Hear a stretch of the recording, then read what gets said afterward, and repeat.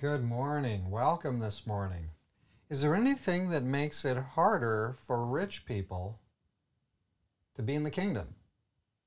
Today we're looking at Mark chapter 10, uh, verse 23 to 31. Let's read into it straight off here.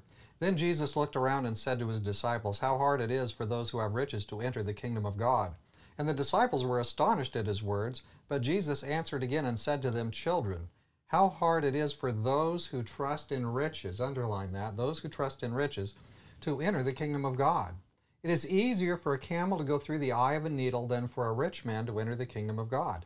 And they were greatly astonished, saying among themselves, Well, then who can be saved? But Jesus looked at them and said, With men it is impossible, but not with God, for with God all things are possible. Then Peter began to say to him, See, we have left all and followed you. So Jesus answered and said, Assuredly I say to you, there is no one who has left house or brothers or sisters or father or mother or wife or children or lands for my sake and the gospel's, who shall not receive a hundredfold now in this time, houses and brothers and sisters and mothers and children and lands, with persecutions, and in the age to come eternal life. But many who are first will be last, and the last first. What's going on here? Is it harder for rich people to enter the kingdom? Well, apparently it is harder, uh, but not because they're rich necessarily. It's because of that verse 20, uh, 24. Uh, how hard it is, said Jesus, for those who trust in riches, because here is the risk that if you have a lot of stuff, that you will begin to trust in that stuff. That's the risk. It's not that being rich will keep you out of the kingdom, but trusting in your stuff will keep you in a troubled way. What stuff are you and I trusting in that isn't of the kingdom? There might be some issues that in your life or mine that we're trusting too much, trusting too much in what uh, we can buy at the store, trusting too much in what the government's going to do for us, trusting too much in whatever it is.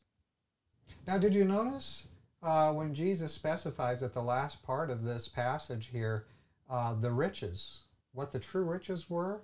In contrast to the material wealth, the true riches here are, are relational riches. Notice again, whoever has left house or brothers or sisters or father or mother or wife or children or lands, that's relational pretty much. I mean, lands not so much, but, but much of that is relational.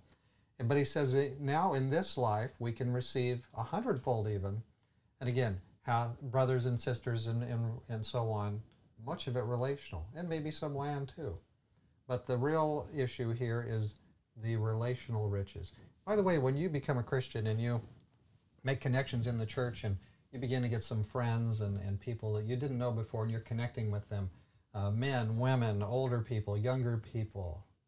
You gain a whole a whole family. You know what? You gain some enormous relational riches you're increasing, you're joining God's family. And as you join God's family, you have a whole new set of brothers and sisters. It's, it's really wonderful. So uh, some people kind of think like, you know, I can be part of God's kingdom, but I don't need to be part of a church. Well, you want to join the family, don't you? You don't want to just be a guest, uh, forever guest. You want to be part of a group, part of the family.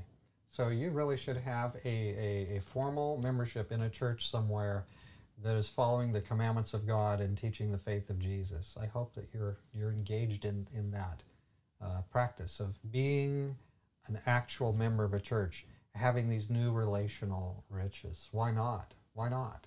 Let's pray together. Dear Father in heaven, thank you for the true riches. Help us, Lord, to rightly value things. Stuff is useful, it's useful because uh, it can actually be used to advance the gospel.